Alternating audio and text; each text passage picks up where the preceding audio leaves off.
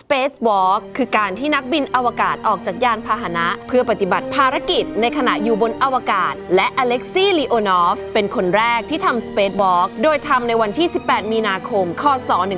1965 ใช้เวลา 10 นาที สร้างสรรค์โดย สวทช สำนักงานพัฒนาวิทยาศาสตร์และเทคโนโลยีแห่งชาติ